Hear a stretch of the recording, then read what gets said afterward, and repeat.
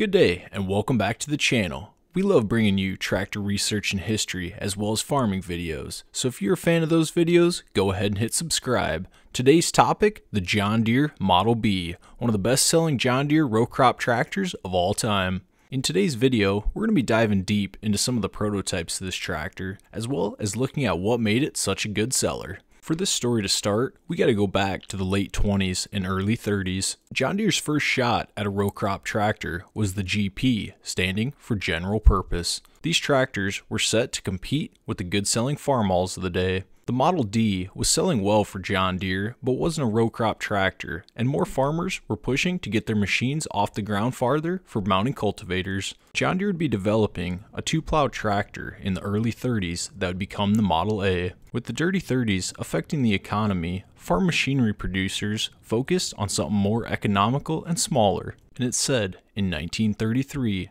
John Deere would begin working on an experimental HX tractor that would become the Model B. The experimental HX was a size down Model A that was meant to be more cost effective and easier to build. By 1934, the John Deere HX had been updated and changed to look more like the unstyled Bs we know today. And be in that year also, the name would be changed to the Model B, and you'd see the first ones rolling off the assembly line. The 1935 John Deere Bs would see an all brass serial number tag that would set it apart from what was to come the following year. John Deere would change to aluminum serial number tags, but during World War II, they'd have to switch to steel. This unstyled B would be powered by a two-cylinder gas 149cc engine with a 4 and a quarter inch bore by 5 and a quarter inch stroke. This would produce 12 horsepower at the drawbar and 16 horsepower at the belt. One of the big advantages to the Model B at the time was that it was able to burn lower quality fuels compared to other tractors on the market. John Deere would start these engines from a smaller tank on gasoline, and you'd be able to switch them over to your lower grade distillate. To start this tractor, it'd be the flywheel hand start, just like the Model A.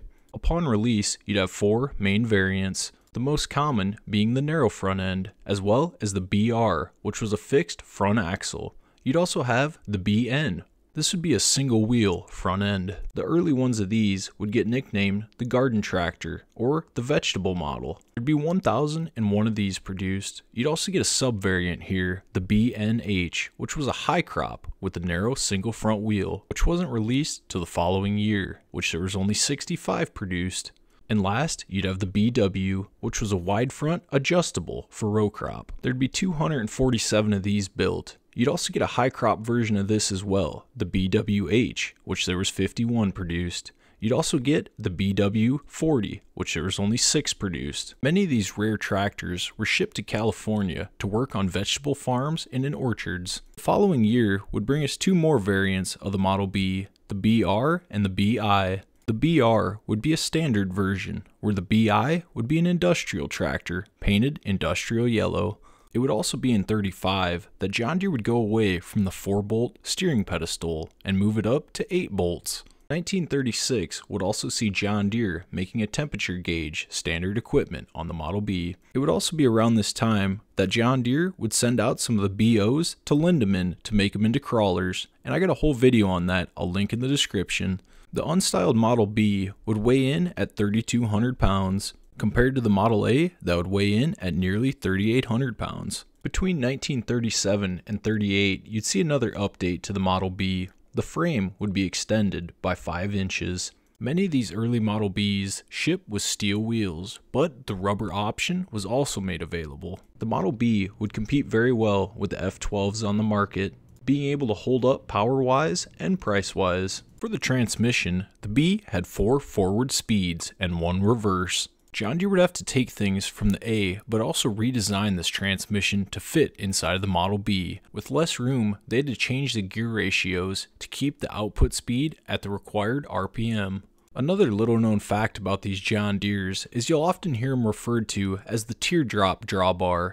This is a loop drawbar that was only made available from 34 to 37 on the A's and B's. According to Deere, the Model B could outwork 6 to 8 horses. This would be big for farmers in the time coming off the Great Depression and needing something small to upgrade from their horses. Now to compare the unstyled Model B to the other two tractors in John Deere's line of row crops. The Model B was rated at being able to pull a 210 plow in light soil. The John Deere A would be able to pull a 214 plow as well as some bigger plows in lighter soil, and the Model G would be able to pull a 314 plow. This meant with the Model G you could cover twice as much ground as you could with the Model B. After adjusting for inflation, the price gap between these tractors would be about 10 grand apiece.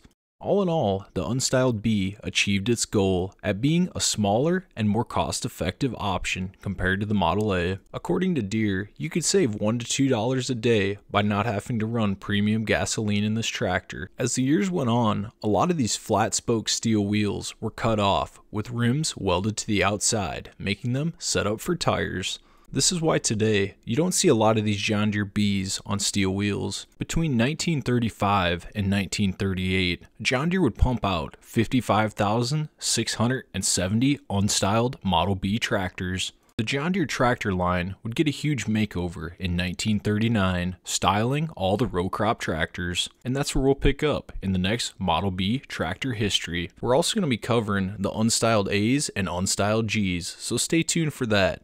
And if there's a tractor that you want to hear about, let me know down in the comments and we just might get to it. So I'm curious if you've ever driven a B or if you own one and what kind of plow you pull with it. Let me know down in the comments. And with that out of the way, I want to thank you guys for watching and we'll catch you in the next video.